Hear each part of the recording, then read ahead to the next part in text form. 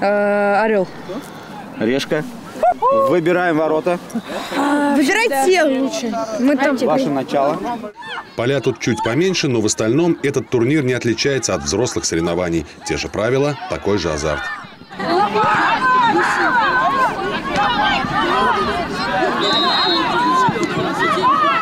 В 2016 году в первых соревнованиях «Удар в девятку» принимали участие только 9 учебных заведений Видного и Калиновская школа. С тех пор увеличилось и количество участников, и их география. Это соревнование, оно уже включает в себя больше 1300 человек. Если взять все возраста, которые у нас прошли, потому что 5 числа закончились 10-11 год, сейчас 9 и выше. Вот, это школы вот, по всему району. В этих финальных играх принимали участие юные футболисты от 9 до 12 лет. Основной костяк команд – отличники уроков физкультуры, но есть и те, кто посещает спортивные секции. А сын ходит на футбол. Он ходит в школу Олимпийского резерва нашу. Ну, какие-то планы-то есть?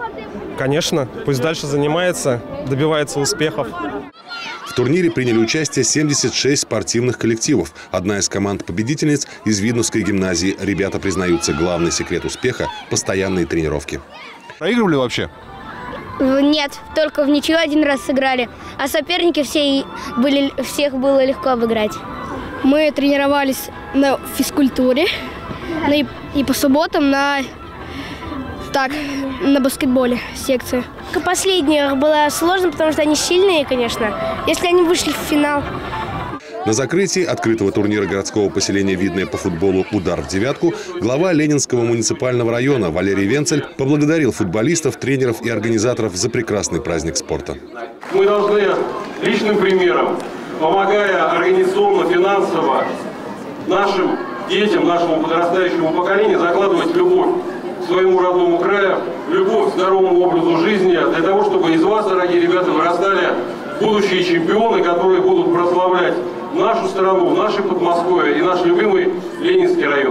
Награды маленьким футболистам глава муниципалитета вручал вместе с Алексеем Русских, членом Совета Федерации от исполнительного органа государственной власти Московской области, при поддержке которого проходит этот турнир. Победители получили медали и кубки, а проигравшим стоит подналечь на тренировке, чтобы проявить себя на следующем турнире.